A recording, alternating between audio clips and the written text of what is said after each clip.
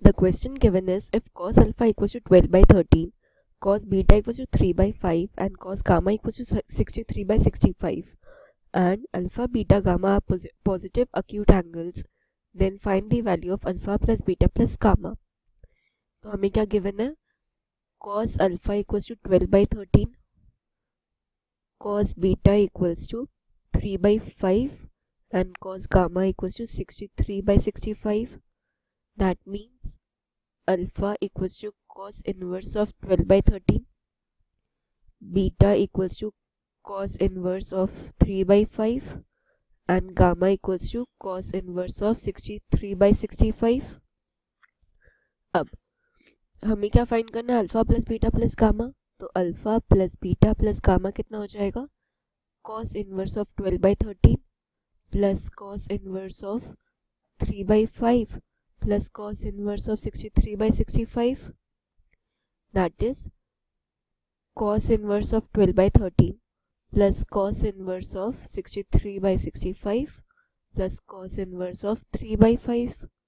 अब हमें पता है कि cos inverse x plus cos inverse y कितना होता है वो होता है cos inverse of Y minus of under root one minus X square into under root one minus Y square.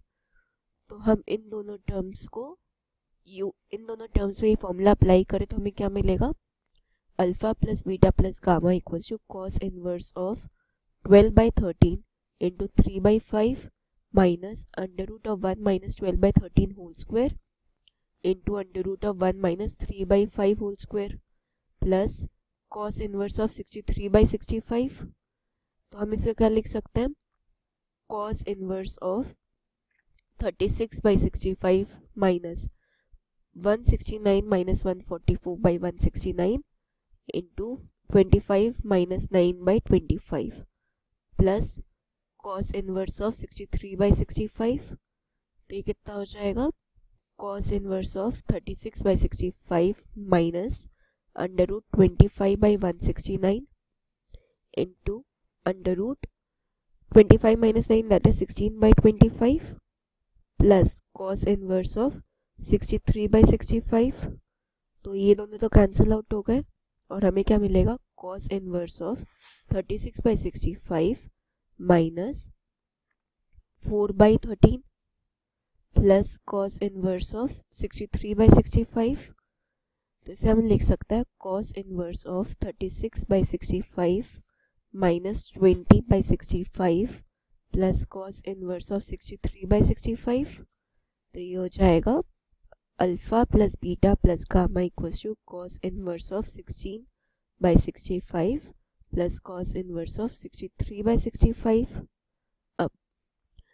अगर हम कंसिडर करें कि cos inverse of sixteen by sixty five इसको थीटा तो हमें क्या मिलेगा? Cos theta equals to sixteen by sixty five तो अगर इसको ट्राइंगल में हम देखें तो ये कैसे होगा? अगर ये एंगल थीटा है तो ये जगह सिक्सटीन ये सिक्सटी फाइव और ये एंगल बाई पाइथागोरस थ्योरम हो जाएगा सिक्सटी फाइव का square minus sixteen square that is sixty three square तो ये हो जाएगा sixty three so sine theta कितना होगा? साइन थीटा होगा sixty three by sixty five that is theta equals to sine inverse of 63 by 65 तो इस इक्वेशन और इस इक्वेशन से हम कह सकते हैं कि sine inverse of 63 by 65 equals to cos inverse of 16 by 65 अगर हम इसे यूज़ करें तो हमें क्या मिलेगा? हमें मिल जाएगा alpha plus beta plus gamma equals to cos inverse of sixty three by sixty five plus sine inverse of sixty three by sixty five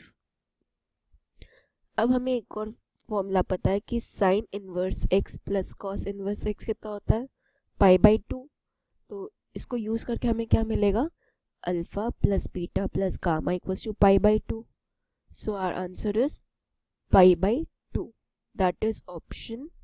B